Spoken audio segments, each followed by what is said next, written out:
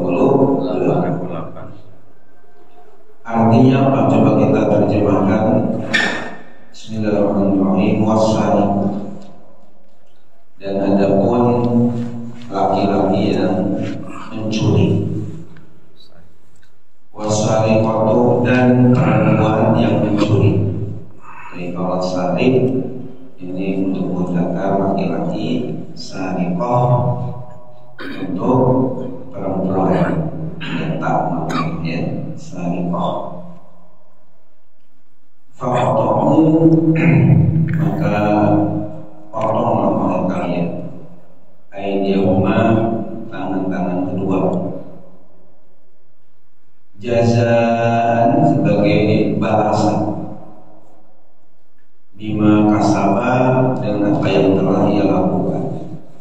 Dengan apa yang telah keduanya lakukan. Ya, Kasaba ini ada domir tasnia Kalau domir buat hanya satu orang kasaba Tapi karena sarikoh, eh, sarik dan asarikoh disebutnya isim tasnia jadi ditambah alif banyak kasaba. Tapi kalau banyak tambah waw jadi kasabu ya. Domir hum kalau ini domir rumah menjadi kasaba. Dengan apa yang keduanya telah lakukan.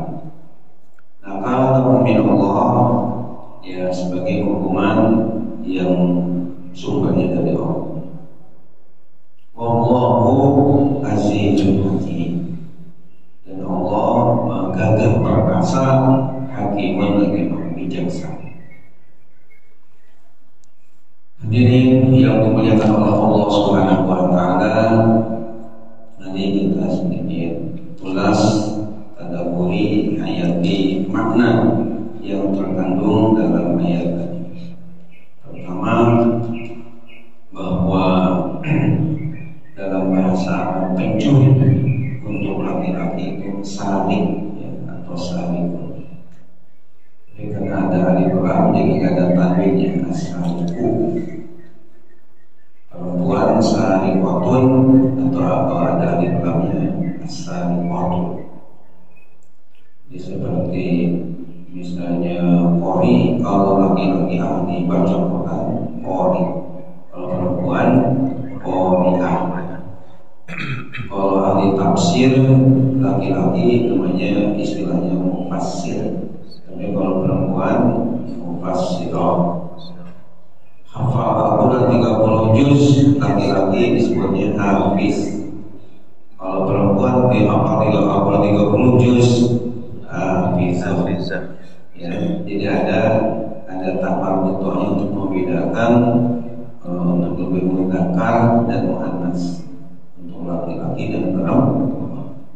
Demikian juga mubatin ya. Kalau laki-laki ceramah itu istilahnya mubat mubatin tapi kalau perempuan mubat mubatin laki-laki dai ya pengajar Nah, sementara perempuan namanya dahiyah ya ada perbedaan dalam pengucapan Bapak dan Ibu yang terhormat di sini jelas bahwa hukuman bagi pencuri ini berat sekali ya. Sehingga dipotong harus dipotong di tangannya ini sebagai barang hukuman dari Allah Subhanahu wa taala kepada pelaku pencurian pelaku korupsi. Namun di dalam masalah ini ada sedikit yang ya, mungkin perlu dijelaskan juga bahwa di dalam surat An-Nur kalau masalah perzinahan itu didahulukan perempuan azaniyatu wazani azaniyatu wazani fajlidu kulla wahidin minhuma mi'atan jaldah itu di dalam surah An-Nur jadi kita lihat lapan yang berkaitan dengan perempuan. Didahulukan azaniyatu perempuan yang berzina. Wazani dan laki-laki yang berzina.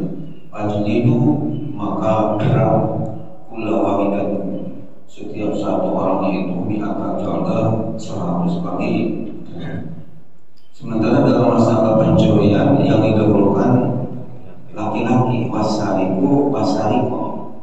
Sementara dalam masalah perzinahan azaniatu wazani. Jadi enggak azani wazania, tapi didahulukan zaniah baru azani. Jadi azani itu untuk laki-laki, kalau untuk perempuan. Nah, di dalam kitab namanya Rawaiul Bayan di tafsir ayat al-ahkam al-Quran Syekh Muhammad Ali As-Sultani dari. Baru-baru ini beliau meninggal di Istanbul itu. Kita doakan beliau dirahmati Allah. Amin. Amin. Khair. Di dalam kitab tafsir yang namanya Rahimul Bayan dikatakan bahwa kenapa untuk pencurian oleh Allah didahulukan untuk menggunakan laki-laki. Tapi dalam masalah perzinahan didahulukan azani perempuan. Hikmahnya apa? Filosofinya apa? Ya, oleh beliau dijelaskan karena dalam masalah pencurian itu mayoritas eh, yang mencuri itu mayoritas adalah dari kaum laki-laki walaupun di kaum perempuan juga ya ada ya Eh, namun namun yang paling banyak begitu artinya mayoritasnya biasanya dari kaum laki-laki jadi kaum perempuan enggak sebanyak kaum laki-laki saya mendengar bahwa ketika jamaah haji tahun yang lalu ya ini ketika jamaah haji berjumpa di ya, tempat-tempat tertentu gitu. ini katanya ada komplotan ya komplotan eh, perempuan yang suka ya, mencuri barang-barang berharga dari dari jamaah itu ya tasnya dan sebagainya kan ada yang sedang eh, sujud kadang-kadang hal itu kan eh, bawa tas berharga mungkin banyak uang bawa uang masjid yang tas Kemudian ketika sholat disimpan di depan. Dan ketika sujud itu ya hanya ada yang lain juga. Padahal di ngomong ibu-ibu. Sehingga mungkin saja terjadi kalangan ibu-ibu juga yang mencuri. Namun mayoritas pencurian ini biasanya kalau kita lihat di penjara-penjara itu lebih banyaknya laki-laki. Maka dalam penyebutannya laki-laki dulu baru perempuan. Nah kemudian kalau masalah perzinahan kenapa didahulukan oleh Allah azaniyatu wazan jadi perempuan dulu daripada laki-laki kata Syekh Muhammad Al-Asyabudi ya dalam masalah ini walaupun mungkin siapa yang ngajak duluan ya masalah perzinahan tadi godaan-godaan tapi yang jelas katanya kalau berzina ini yang paling nampak eh, nanti ada rasa malu itu itu dari pihak perempuan. Karena perempuan ketika berzina ada kemungkinan hamil ya jadi kalau laki-laki kan nggak nggak hamil jadi nggak kelihatan nggak nampak. Tapi kalau perempuan ini ya biasanya ya mengandung hamil dan akhirnya selain dia malu juga keluarganya bahkan mungkin masyarakat juga menjadi penolong. Dan jadi karena dampaknya yang sangat ya, negatif bagi pihak perempuan jadi didahulukan penyebutannya oleh Allah Subhanahu wa taala. Kita lanjutkan bahwa uh, Rasulullah SAW Nabi Shallallahu Alaihi Wasallam dan Nabi kita Muhammad Shallallahu Alaihi Wasallam bersabda, "La'anallahu sariqo yasrukul habla fatuqta'u yaduh."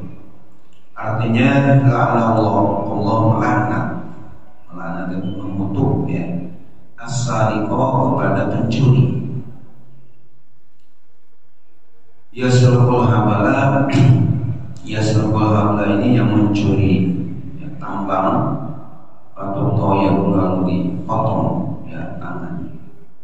Artinya walaupun kecil istilahnya tapi kalau namanya pencurian walaupun sekecil apa pun ya hendaknya kita hindari sehingga pelakunya itu dilaknat oleh Allah Subhanahu wa taala. Nauzubillah min alaihi wasallam Nabi kita Muhammad sallallahu alaihi wasallam Law Fatimah binti Muhammadin saraqat laqata'tu yadaha Artinya law Fatimah binti Muhammad seandainya seandainya Siti Fatimah putri Muhammad Sallallahu Alaihi Wasallam sarakat mencuri lakotok tuh yada niscaya aku akan potong ya yada tangannya. Ini Bapak dan hadirin yang dimuliakan oleh Allah Subhanahu wa taala sahih. Lihat nomor 4 ini muttafaq ya hadisnya yang disepakati oleh Bukhari dan Muslim ada di Sahih Bukhari, ada di Sahih Muslim. Dan hadis ini sebenarnya enggak lengkap ya ditulis oleh pengarang ini uh, hanya penggalan. Uh, lengkapnya itu yang saya hafal adalah uh, ada kaitan dengan sababul. Jadi kalau ayat Quran ada istilah sababul nuzul sebab turunnya ayat-ayat Al-Quran. Ya kalau Bapak hadirin ingin tahu tentang sabab nuzul ayat-ayat Quran ada kitab. Saya punya dua. Yang pertama kitab Asbab dan dari Imam Al-Wahidi dan yang kedua kitab namanya Bubabul Nuzul di Asbabin Nuzul dari Imam Jalaluddin Asyuyuti. Itu khusus menceritakan bagaimana ayat-ayat Quran itu sebab turunnya latar belakangnya bagaimana kronologis. Nah, tapi kalau masalah hadis, kenapa Nabi bersabda demikian demikian itu namanya asbabul wurud ya, bukan asbabul nuzul, tapi istilah untuk hadis itu namanya asbabul wurud. Nah, kalau kita baca asbabul wurudnya uh, dalam hadis ini bahkan oleh imam namanya Muhammad bin Ali Asyaukani dari Yaman dalam kitabnya Naikul Autor Syarah Muntaqal Akhbar. Kita baca ada sababul wurud ada sebab Nabi bersabda ini secara singkat mungkin saya kemukakan supaya nambah wawasan keilmuan bapak-bapak yang terhormat. Jadi sababul wurudnya itu bahwa ada seorang uh, dari kalangan Bani Mahsumiyah dari kalangan orang bangsawan yang mencuri ya istilah sekarang korupsi. Sehingga mereka ini dari kalangan Bani Mahsumiyah yang mencuri tadi keluarganya merasa khawatir nanti tangannya akan dipotong dan tentunya akan jadi cacat dan menjadi ya tidak enak atau tidak baik untuk keluarganya sehingga akhirnya dari kalangan Bani Maksumiyah tadi mencari cara bagaimana supaya Rasulullah Shallallahu Alaihi Wasallam sebagai hakim pemutus hukumnya itu supaya tidak tidak memotong tangannya si pencuri itu. Akhirnya dicarilah orang yang dekat dengan Rasul untuk menghobi Rasulullah Shallallahu Alaihi Wasallam dicari-cari orangnya rupanya ada namanya Usama bin Zaid bin Harisa. Kenapa? Karena Usama ini bisa dikatakan adalah cucu ya, cucu angkat Rasulullah. Karena kita maklumi bahwa Zaid bin Harisa ini adalah angkat anak angkat Rasul dan Zaid bin Harisa punya anak namanya Usama bin Zaid. Usama bin Zaid ini sangat disayang oleh Rasulullah.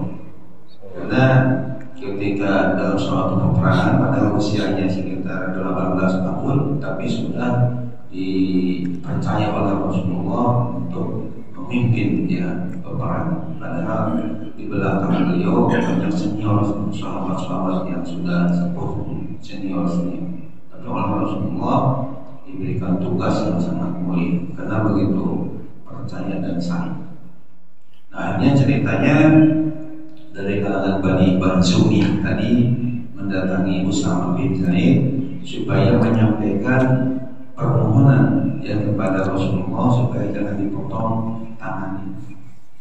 Dari kalangan Bani Bansumi yang mencuri. Karena mungkin Usama bin Zaid ini didesak terus supaya menyampaikan kepada Rasulullah ya, sekedar namanya menyampaikan amanah atau pesan tadi. Hanya oleh Usama disampaikan kepada Rasulullah Intinya bahwa dari kalangan Bani, Bani Masum yang ini supaya diringankan hukuman jangan sampai dipotong tangan. Setelah oleh Usama bin Zaid disampaikan kepada Rasulullah Shallallahu Alaihi Wasallam, rupanya Rasulullah SAW yang menilai ini kayaknya nggak nggak beres ya, karena nggak adil kalau dari kalangan bangsawan Bani Mazumnya ini hukumannya diringankan sementara kepada yang lain ditegakkan hukum yang jelas. Akhirnya dalam hal itu Rasulullah SAW e, naik mimbar mungkin sedang dengan para sahabat. Jadi berdiri mengungkapkan hadis di hadapan para sahabat yang saya hafal kurang lebih teknik itu Rasulullah bersabda dengan nada yang marah ya karena ada unsur ketidakadilan itu. Dengan nada yang uh, marah Rasulullah bersabda uh, di hadapan para sahabat dengan lafaz hadisnya innama ahlaqal ladzina min qablikum kanu idza saraqa fi syarif tarakuhu wa idza saraqa fi mutahim aqumu al had Allah Lau anna Fatimah binta Muhammadin saraqat laqata yada mutahama. Ya. Jadi itu hadis itu lengkapnya yang saya hafal seperti itu. Ada sebab terjemahnya? Artinya adalah Rasulullah naik mimbar dan pidato di hadapan para sahabat. Artinya inna ma'alaqadani yang sungguh binasanya umat-umat terdahulu sebelum kalian. Kamu Ida sarqa fi musyarif tahu adalah mereka apabila yang mencuri itu asyarif orang yang mulia, orang yang terhormat, orang yang terpandang, taruh mereka membiarkannya. Artinya tidak ada apa-apa. Ya, istilahnya hukumnya kayak kayak golok atau pisau. Ya Tumpul ya. Bagian atas ke atas tumpul yang ke bawah tajam tajam jadi kalau ke bawah tajam ke atas tumpul. Sehingga kalau yang mencurinya dari kalangan bangsawan orang terhormat katakanlah pejabat-pejabat dibiarkan nggak ada apa ya bahkan dicari bertahun-tahun ini ya nggak ketemu itu atau memang dibiarkan gitu nggak ada hukuman nggak dihukum maksudnya. Wa idza saraqu fi dhaif. Sementara kalau yang mencurinya dari orang yang lemah rakyat jelata aku mau ada mereka ramai-ramai menjalankan hukuman itu ini kata Nabi binasanya umat terdahulu seperti. Nah langsung demi Allah seandainya Fatimah putri Muhammad mencuri, akulah sendiri yang akan. Itu ada hubungan dengan tadi, ya. Ada sebab kenapa Rasulullah bersabda langsung ya bersumpah seperti itu. Hadirin yang oleh Allah Subhanahu wa taala, begitu tegas dan adilnya Nabi kita Muhammad sallallahu alaihi wasallam. Bahkan di dalam riwayat dikatakan bahwa kenapa yang disebut-sebut di sini eh, Lauhan Fatimah binta Muhammad. Kok disebut seperti yang disebut itu istri putri yang bernama Fatimah Azhar. Padahal dalam kitab tarikh, kitab sejarah saya mungkin tidak kurang ada ya lima tujuhnya kita uh, sejarah atau sirah nabawiyah saya miliki ternyata tidak hanya satu Siti Fatimah ya yang saya ketahui ya tidak kurang empat ya. ada namanya Siti Zainab ada yang namanya Siti Ruqayyah Umi Kulsum ada memang Fatimah asal. Pertanyaannya kenapa yang disebutnya Siti Fatimah enggak putrinya yang lain? Kalau putranya memang e, masih kecil-kecil udah pada meninggal. Jawabannya karena dari sekian putri Rasulullah SAW yang paling cantik, yang paling menarik itu adalah Siti Fatimah Azhar. Dan katanya dalam segi gerak geriknya sampai ke cara jalan, cara duduknya itu mirip dengan Rasulullah Wasallam. Sehingga seolah-olah Rasulullah itu bersabda, seandainya putri saya yang paling saya sayangi, yang paling saya ya senang waktu itu uh, mencuri tetap aja saya akan uh, potong tangan. Gitu. Kalau kalau ada yang enggak nggak menarik lah wajar potong ini walaupun putrinya yang sangat dicinta yang sangat disayang tetap kalau yang namanya berbuat salah saya akan tegakkan itu jadi intinya dari kalangan Bani Maksumiyah tadi yang ditolak e, minta dispensasinya karena dia tidak adil kalau misalnya dari kalangan Bani yang terhormat tadi malah tidak dihukum dengan sebaiknya.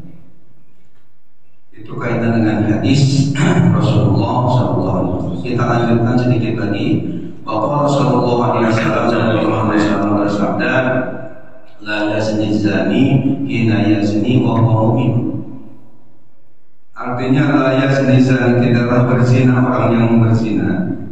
Hina yazni ketika ia berzina, wa huwa dia dalam keadaan beriman wala yasriqu sariqu dan tidaklah mencuri orang yang mencuri hina yasriqu ketika mencuri wa huwa dan dia dalam keadaan beriman walakin taubat tapi taubat ma'rudatun disodorkan ba'du setelah ba'du setelah Sahihun hadis ini adalah hadis sahih. Bapak dan hadirin yang dimuliakan oleh Allah Subhanahu wa taala, mari kita pahami hadis sahih dari Nabi kita Muhammad sallallahu alaihi wasallam. Di sini dijelaskan tentang besarnya dosa berzina sehingga ketika ada orang berzina ketika zinanya itu dinyatakan imannya itu melayang. Seolah dia nggak ada iman kosong daripada iman. Demikian juga pencuri ketika dia walaupun orang yang beriman agamanya Islam tapi ketika dia mencuri berarti iman itu sudah melayang imannya sudah ya, kata-kata kosong ya dalam dadanya karena dia melakukan sesuatu yang sangat besar dosanya. Akan tapi masalah tobat sebelum dia mati sebelum meninggal tetap ya dipersilakan untuk bertobat kepada Allah. Ya tentunya kalau tobat mencuri ada hubungan dengan hukum adami harus dikembalikan. Barang curian juga bisa misalnya tobatnya hanya minta maaf kepada Allah sementara uang rakyat atau uang atau orang lain masih dimiliki ya. Maka tapi harus diserahkan lagi kepada polisi hadirin yang dimuliakan oleh Allah Subhanahu wa taala. Tadi saya membaca ba'du ya bukan ba'da atau ba'da ya karena eh, dalam tata bahasa Arab kalau misalnya ada mudofun nilainya ada sandaran setelah bada itu mesti biasanya bada itu dinasolkan dalam misalnya nanti kumpul ya di rumah saya bada asar. Salah kalau menyebutnya nanti kumpul di rumah saya badu asar atau badi asar. Harus bada asar. Nanti karena ada saudara di rumah saya bada isya. Itu yang benar enggak tapi kalau misalnya eh, penceramah atau MC Alhamdulillah Rabbil Alamin qina nasta'in ala wa dunya wa din wa ala sahbihi ajma'in yang benar amma ba'da amma ba'di atau amma ba'du? Amma ba'du. Eh enggak enggak benar. Amma ba'da. Dia amma ba'di. Didomakan dua pedalnya amma ba'du. Mungkin di antara bapak ada yang masih bertanya-tanya kenapa oh, kalau ibu pada sebut pada asal kok dipatahkan dalnya. Kalau ketika amma badu dah enggak bada. Ini ada hubungan dengan tata bahasa. Mungkin sedikit saya jelaskan biar nambah bahwa saya juga juga yang mendengarkan dengan channel ini ditambah ilmu tata bahasa Arab. Jadi kalau faedahnya itu eh, ba'da ini termasuk istilahnya torof zaman menunjukkan waktu kan setelah sebelum kalau ba'da sesudah nah ini kalau misalnya diidofakan kepada lafaz berikut jika ada lafaz sandarannya itu mesti dipatah misalnya pada asri setelah asar pada maghribi setelah maghrib dan kalau misalnya ada huruf jar sebelumnya ada min misalnya yang dikasrahkan min ba'dil asri dari setelah asar ada min ya karena ada huruf jar tapi kalau nggak ada huruf jar harus jadi patah pada asri pada maghrib pada isya itu uh, kaitan dengan kalau bisa tadi. Nah, bagaimana kalau kaitan dengan amal baru? Nah, kalau amal baru yang didomakan dal itu ujung artinya huruf. Ini kaidahnya apabila setelah lapan ba'da itu? Mudhof nilainya jadi ada mudhof mudhof nilai. Ba'da asli disebutnya ba'da mudhof al asli itu mudhof nilai yang disandarkan. Kalau bodoh yang disanakan bodoh ilmu yang kesandaran. Nah jadi kalau bodoh ilahnya dibuang tidak dinyatakan itu wajib. Dalil itu didomakan karena eh, pada lafaz amma ba'du itu sama. Kalau dibongkar itu dijelaskan jadi amma ba'dal basmalah wa ba'dal wa sholatu rasulillah baru ada pun setelah membaca hamdalah kan sebelumnya ada alhamdulillah rabbil alamin wa bihi nasta'in wa ala asyrafil mursalin ujungnya amma ba'du. Jadi kata-kata baru ini doma itu sebagai isyarat ada kalimat yang berubah. Jadi kalau dijelaskan amma ba'da ala rasulillah itu nah ketika mudhafun ilaihnya tidak dinyatakan atau ada yang dibuang tadi maka wajib dalamnya itu doma. Ini ada kaidahnya atau ada dalil. Dalilnya tentu dari Alfiyah ya artinya dari kitab ilmu yang sangat tinggi. Di dalam bab itu Jadi ada baitnya yang saya masih masih ingat.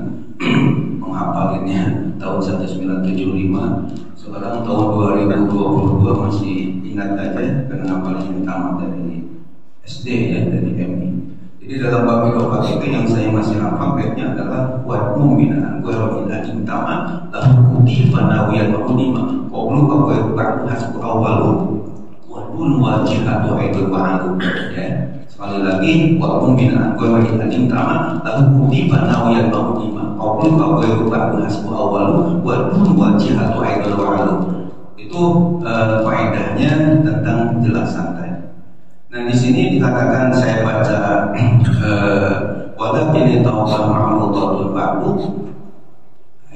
Kalau dijelaskan ya Ba'da Ba'da sarikoti setelah mencuri. Artinya tobat masih disodorkan Masih diperkenankan Ba'du setelahnya. Ya setelah itu yakni Ba'da sarikoti setelah uh, melakukan pencurian. Kalau memang dia mau tobat sebelum mati ya diperkenankan silahkan begitu maksudnya. Maka dibacanya batu karena setelah pada ini bonofon ilaihnya dibuang uh, Bapak dan hadirin yang dimuliakan Allah wa an Mansur an Hilal bin uh, Yasaf an Salamah bin Qais. Yang berkata bahwa Rasulullah Shallallahu Alaihi Wasallam Rasulullah SAW bersabda Allah innama hunna arba'un ingat sungguh hanyalah hal-hal yang sangat membahayakan ini arbaun ada empat. Ya. Ini pesan jangan sampai kita terjerumus. Maksudnya yang pertama ala tusyriku billahi syai. Janganlah kalian berbuat syirik menyebutkan Allah dengan sesuatu apa pun. Ini uh, yang sangat bahaya kalau dilakukan. Yang kedua wala taqtulun nafsa illa Dan janganlah kalian membunuh jiwa yang telah Allah haramkan illa bil kecuali dengan benar. Mungkin di antara bapak ada yang bertanya, memang ada bagi membunuh orang uh, tapi benar? Ya membunuh tapi benar. Ya, artinya di, dibolehkan oleh agama tidak dipandang dosa. Ya jawabnya ada. Yang bunuh yang mana ya algojo yang tukang mengkisos itu itu nggak apa-apa ya. Jadi ada orang yang berbuat salah karena misalnya membunuh orang kan kisosnya dibunuh lagi. Uh, petugas kalau di Jeddah itu di Arab Saudi ada petugas untuk uh, memancung orang yang tadi salah berbuat uh, kriminal. Nah bagi yang membunuhnya karena sesuai dengan aturan agama harus bagi pelakunya namanya bilham ya nggak paham. Wal dan pesan yang ketiganya janganlah kamu berbuat zina. Nah kemudian yang empat yang bahaya tadi wala tasbih dan janganlah mencuri sarikoh tadi nah, jangan sampai melakukan pencuri.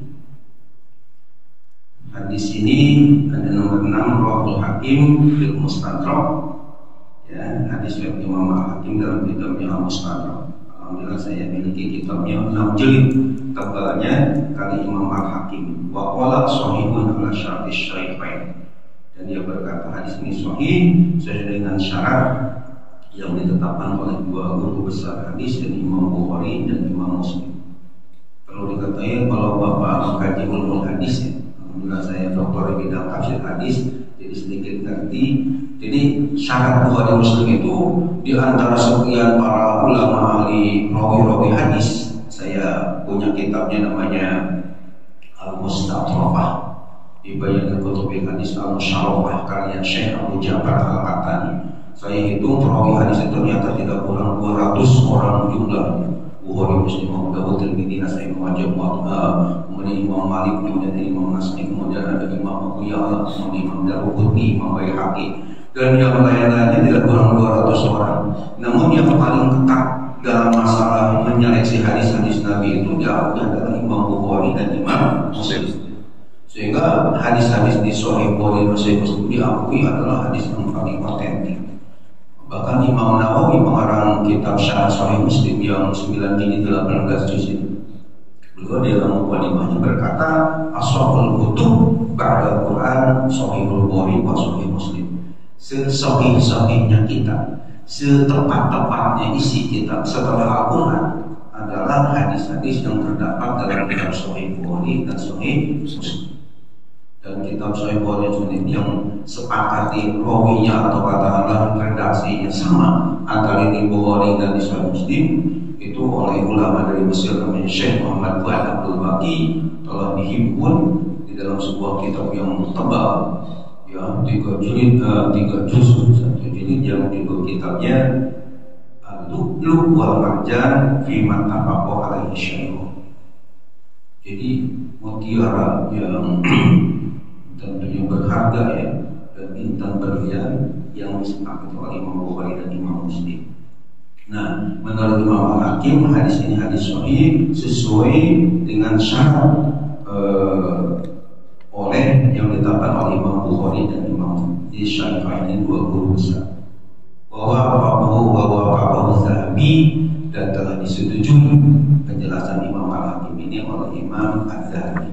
Az-Zahabi ini seorang ulama hadis yang terkenal dan yang marah kitab ini juga kabar Imam Az-Zahabi ya.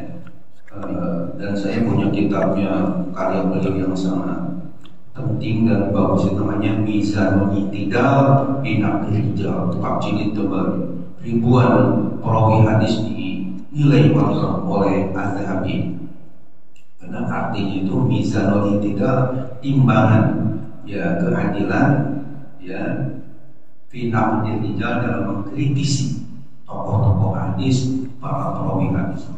Jadi yang yang sohinya yang bagus mana yang jeleknya mana itu dikemukakan Me, melalui ya alfabetis. Jadi sesuai dengan mestinya yang hurufnya awalnya alim siapa aja. Yang awal hurufnya ba siapa jadi dirinci dengan luar biasa. Itu oleh Az-Zahabi. Bapak dan hadirin yang dimuliakan Allah, kultu ini di akhir ya, di akhir pembahasan. Kultu saya katakan, tentu di sini yang mengatakan ini pengarang kitab Al-Kabir setelah mengutip ayat Quran dan hadis-hadis Nabi tadi, kemudian ada komentar dari pengarang kitab.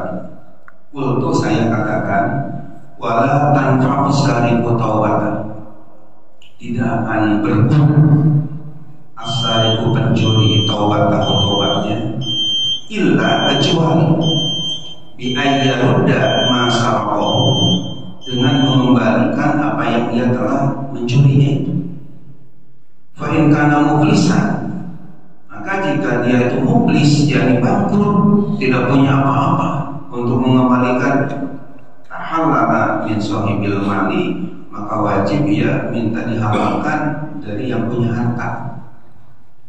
Ini komentar dari Imam Azhabi pengarang kitab Al-Kabair bahwa untuk masalah ya bagaimana masih diampuni oleh Allah si pencuri ini tobatnya akan diterima enggak? Jawab penjelasan beliau untuk si pencuri ini tobatnya oleh Allah tidak akan diterima ada ilah ada pengecuali kecuali kalau ayaruda masalah ini mengembalikan dulu barang yang dicuri. Katakanlah misalnya ada si A mencuri uang negara korupsi sekian miliar dan triliun triliun. Itu tobatnya sampai kapan pun sampai nangis darah nggak akan diterima oleh selama barang curian itu belum dikembalikan kepada negara atau bawa perorangan kepada orang Bagaimana mungkin pertanyaannya bagaimana Pak Ustaz kami kalau hartanya keburu habis. Katakanlah misalnya bisa saja kan dia mencuri sekian triliun sebelum dikembalikan sebelum sadar tobat tadi hartanya mungkin karena banjir karena banjiran mungkin juga karena kebakaran ya kecurian dan sebagainya pokoknya hartanya habis sementara mau mengembalikan nggak ada nah kalau begitu solusinya tahalala misalnya ya harus minta dihalalkan dari yang punya hartanya ya, misalnya wah ini saya mau kembali kan sebenarnya tidak ada tapi harta saya habis kena tsunami dan sebagainya yang mohon dihalalkan kalau dihalalkan ya berarti dimaafkan ya hari kiamat tidak ada masalah tapi kalau tidak dihalalkan ya ada perhitungan di akhirat itu makanya harus kita hati-hati jangan sampai sekecil apa pun memakan barang ya orang lain. Ya termasuk misalnya kita yang diberi amanah sebagai ketua DKM, ya saya sebagai pimpinan pesantren kadang-kadang kan suka mendapat amanah nih e, untuk ini untuk apa untuk tanah untuk bangunan dan sebagainya ini hati-hati ya jangan sampai termakan oleh oleh kita oleh pribadi atau keluarga jadi itu pada hakikatnya mencuri juga ketika kita mengambil harta yang bukan hak kita. Jadi harus hati-hati jangan sampai ya ada harta orang lain yang katakanlah kita ambil tanpa hak, tanpa izin, tanpa minta dihalal. Ada hadis mengatakan mamin lahmin apa kami haram fana Ya hadis Tirmizi. Artinya tidak ada mana mamilah mindapat haram tidak ada daging yang tumbuh dari harta yang haram. Ya karena Allah api neraka lah yang paling pantas untuk melawan kepada orang yang melakukannya. Ini mudah-mudahan pembahasan kaitan dengan sarikoh ini pencuri ini kita lebih berhati-hati supaya kita di akhirat tidak ada ya tidak bermasalah. Insya Allah. Demikian materi kita insya Allah. Insya Allah pada bulan Agustus ini. Karena bulan Juli ini insya Allah tanggal tiga kalau tidak ada halangan saya terus berangkat ke tanah suci untuk ya, ibadah haji ya. Sehingga bulan Juli itu satu bulan. Ya karena dalam jadwal itu yang sudah ditetapkan berangkat tanggal 3 bulan Juli hari Ahad hari pertama. Nggak bisa ngaji dulu. Kemudian pulang tanggal 29 ya, bulan Juli juga. Ya jadi insya Allah mungkin Agustus kita akan ketemu lagi melanjutkan melanjutkan pelajaran kita judulnya nanti uh, kami rasanya yang wajibun fakutori begal ya. jadi mau begal asalnya fakutori itu mau motong jalan. Mau itu kan kamu mau motongnya torik jalan. Itu diterjemahkan dengan pembegal itu biasanya begal itu. Ada menghadang di jalanan itu dosa besar. Insya, insya Allah setelah Idul Adha kita mungkin ketemu lagi. Amin dalam keadaan sehat walafiat pulang ke tanah suci ke tanah air mudah-mudahan sehat walafiat. Bisa bertemu lagi dengan bapak-bapak dan hadirin yang terhormat. Insya Allah. Demikian. Assalamualaikum warahmatullahi wabarakatuh. Waalaikumsalam warahmatullahi wabarakatuh.